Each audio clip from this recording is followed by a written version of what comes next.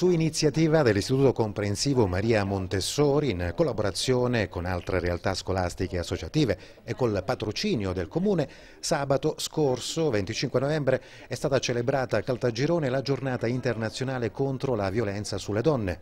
Dopo il corteo cittadino, in piazza Municipio, si è tenuto un momento di raccoglimento con gli interventi degli studenti.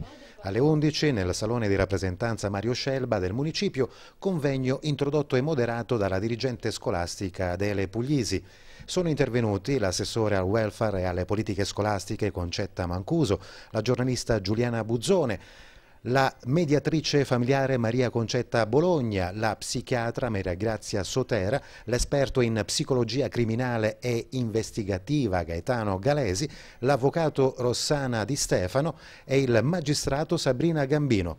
Durante la mattinata attività educative sono svolte al Montessori a cura del Leo Club Caltagirone. Io veramente sono rimasta emozionata e commossa e sorpresa della sensibilità di questi giovani, non solo i grandi del liceo ma anche i ragazzi della scuola secondaria di primo grado, veramente ragazzi profondi che eh, hanno dimostrato di conoscere questo fenomeno, perché è un fenomeno che ha dei tratti salienti e che si ripetono in quasi tutte le storie. E questo fa sperare bene per il futuro perché poter prevenire questi fenomeni fenomeni nel momento in cui si verificano all'interno di relazioni affettive dove si registrano fenomeni di gelosia, fenomeni di violenza, di insulti anche di carattere verbale perché la violenza non è solo fisica ma è una violenza anche di tipo psicologica, penso che se i ragazzi conoscono questo fenomeno possono meglio affrontarlo, possono trovare quegli aiuti all'esterno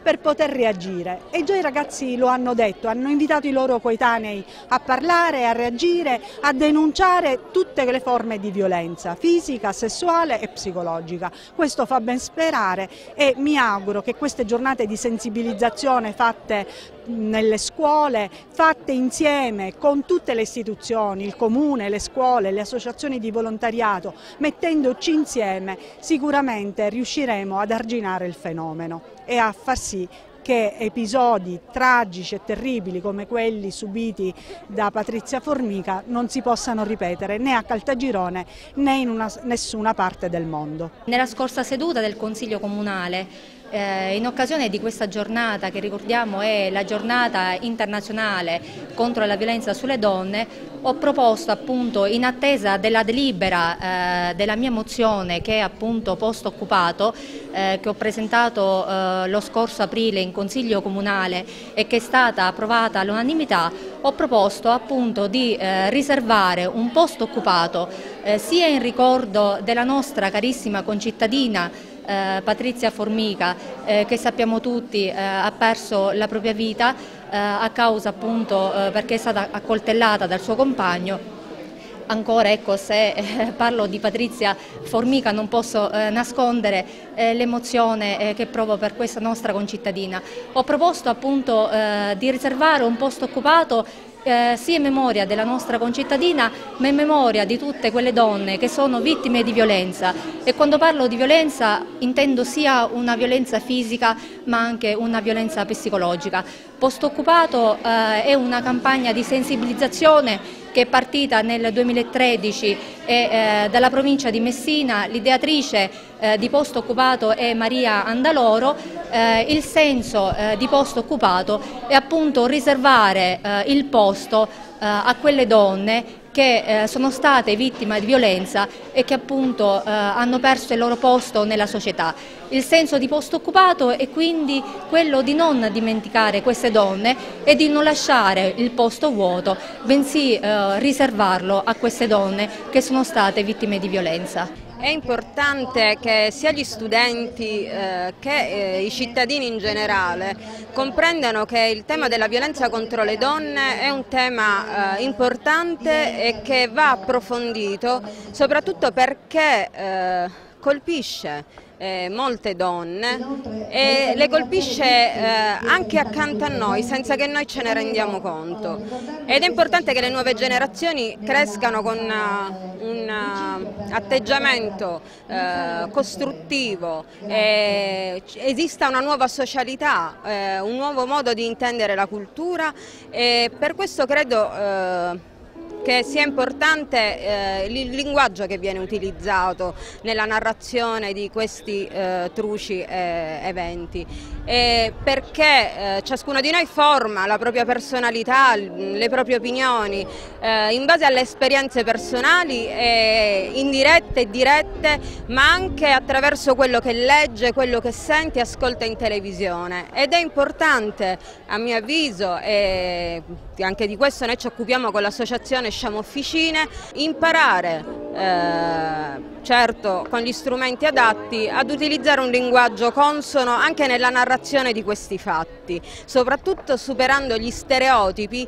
che eh, sono eh, purtroppo la base della formazione eh, delle discriminazioni in generale. Io sono rimasta veramente meravigliata, però positivamente meravigliata della sensibilità, dell'attenzione dell e anche della delicatezza con cui hanno affrontato questo argomento che sappiamo ha dei risvolti negativi e un ringraziamento e un apprezzamento particolare sia come avete visto per giovanissimi studenti minori ma anche chiaramente eh, giovani eh, diciamo del liceo che ovviamente in maniera diversa con eh, performance diverse hanno sicuramente dato la loro voce e questo, di questo sono veramente eh, fiera al loro cuore, al loro animo, hanno parlato a tutta la cittadinanza col cuore. La violenza sulle donne da un ragazzo della mia età viene vista intanto come una cosa strana ovviamente, e che magari poi in base a un ragazzo educato bene che eh, sa che ovviamente sembra strana questa cosa, però un ragazzo che cresce in una famiglia eh, dove c'è il padre che violenta la madre ovviamente o è portato a farlo o è portato ad odiare ancora di più la violenza sulle donne è comunque una cosa che gli resterà segnata. Eh, L'educazione ovviamente è fondamentale, il corteo e serve per dare maggiore visibilità soprattutto a questa giornata ovviamente e che comunque la violenza sulle donne è da combattere. L'odore della carne, della mia carne, che brucia, mi arriva alle narici, affolate, portate dal vento e nell'andare e venire della mia coscienza. Tra il fumo vedo un'ombra, la sua sagoma, il mio ragazzo. O quel che resta di lui. Siamo, eravamo giovani, una vita davanti, ora è già dietro, passata. Le parole sono volate solo 25 anni. È andato, sta andando tutto in fuga. Il primo bacio, il batticuore quando l'ho visto, le mie mani sul suo viso. E poi la voce che si alza insieme alle mani.